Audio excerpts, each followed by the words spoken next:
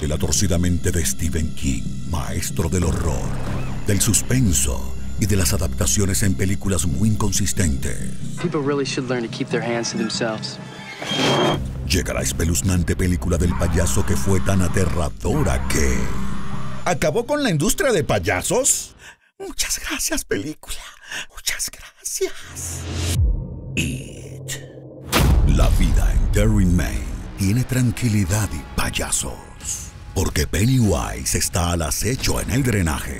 Y este pedazo de eso te comerá vivo. A menos que solo se alimente del miedo de la gente. Tan delicioso y hermoso miedo. O quizás te come vivo y se alimente de tu miedo. Y tendré un festín con su carne mientras me alimento con su miedo. O quizás solo te asustará muy duro y te dejará ir.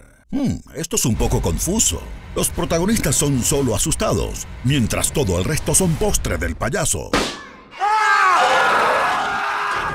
Viaja a la capital ideal para los asesinatos de adolescentes en los Estados Unidos. Personas mueren o desaparecen seis veces más que en todo el país. Y conoce al club de perdedores repletos de Goonies y muchachos perdidos. Chicos que le ganarían a One Direction en una competencia de gritos. Está el líder, el enfermo, el nerd de libros, el chico de Stranger Things con gafas, la niña y también los otros dos, los cuales su desarrollo de personaje fue cortado por tiempo. Mike no dice una palabra por 45 minutos. ¿En realidad disfrutan hacer que uno de los personajes más importantes en el libro sea el Winston de la película? ¿En serio? Está bien película, tú eres la película. Emocionate cuando el miedo de cada niño se aprovecha de ellos de forma particular. Solo intenta no notar que utilizan a cada uno de la misma forma, en donde el niño se va por su cuenta. Luego nota algo fuera de lo normal. Pareces un niño bueno. Y lentamente camina hacia eso.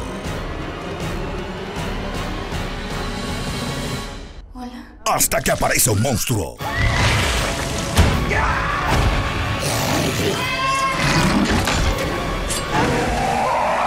Saben que pueden decir no y caminar hacia el otro lado, ¿verdad? Problema resuelto. Anda por la ola de nostalgia que aún está en Hollywood y toma tu dosis de cultura de los años 80 como New Kids on the Block, Peinados, ese terrible juego de Street Fighter, el tiempo en la escuela en donde las chicas pasaban por la pubertad, pero a los niños le faltaba mucho para eso. Estoy en la misma clase.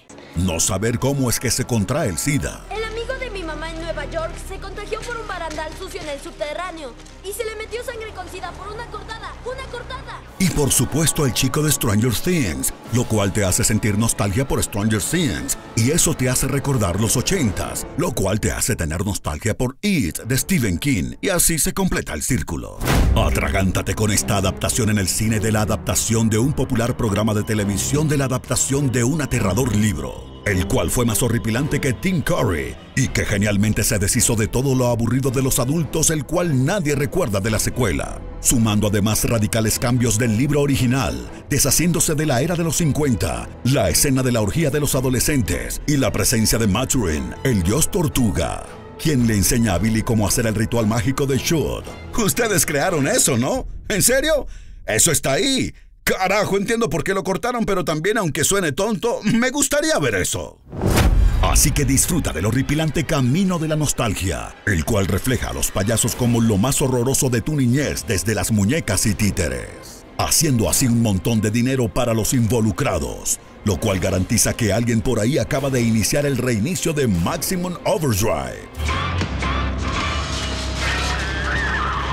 No sé si estoy listo para otra sorpresa de Stephen King. Supongo que será un camino lleno de baches.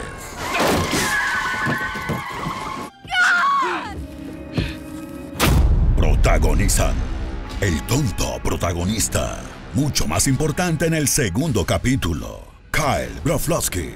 ¿Para qué escribir un chiste aquí si su apellido traducido es Lobo Duro? El gordito cabrón. El joven Sheldon. Justicia para ver. El beso del payaso y el insano grupo antipayasos. Stephen King. Batman se estrenó el 23 de junio y Duro de Matar 2 se estrenó el 27, así que o se estrenan las películas muy temprano aquí o salen de vacaciones muy tarde, o solo querían darnos un golpe de esa dulce, dulce nostalgia. Mi voz es tan épica que necesito mi propio canal. Bueno, si lo tengo, Alberto Acosta, locutor. Que te lo digan tus pinches amiguitas. Se me congelaron las nalgas. Este comentario tiene clasificación C de comentario.